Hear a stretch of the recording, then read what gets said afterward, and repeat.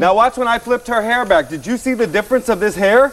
My God, yeah. Wow. Look at that. Is that gorgeous? It's beautiful. Now I let me can't. sh- look at the back. I am telling you, this hairspray is amazing. Now, do you love my plump and thick? I absolutely. I keep like eight cans at a time. Oh, together. girl, let me give you a kiss. That is good. Mwah. That uh, one's got it. Whoa! I fell on my booty. Thank you. No, I oh, I'm got okay. And you know what, Gene? Three times before the show, I said, Nick, you're going to fall off that set sometime. oh my gosh, you scared me to death. I scared myself again. Now you know what a real clown I am.